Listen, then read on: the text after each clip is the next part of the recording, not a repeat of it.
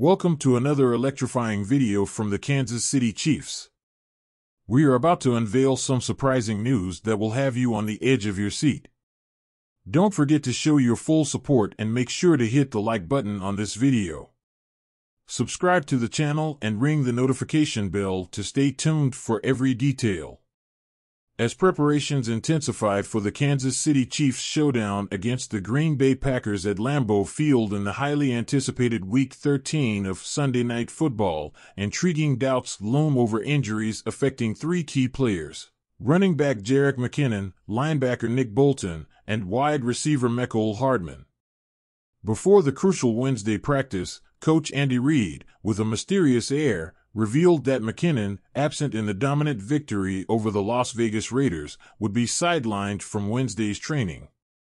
But the suspense doesn't end there. Bolton, previously placed on the injured reserve list due to a wrist injury, is back in the spotlight. Nick Bolton will be working today, announced Reid, leaving uncertainty about how he will perform hanging in the air. The twist in the situation is even more intriguing, considering the complex NFL rules for injured reserve players.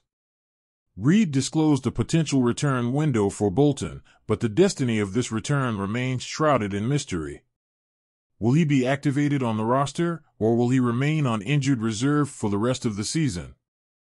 The answer awaits in the team's upcoming moves. And to keep the suspense at its peak, we have the much anticipated update on Mecole Hardman, who was abruptly placed on IR on Saturday due to a thumb injury. His social media posts hint at a comeback, but when exactly will this happen? The first possible game is on Christmas Day against the Raiders, but sources suggest that reality may unfold in the thrilling New Year's Eve matchup against the Cincinnati Bengals. Now, dear fan, it's your turn.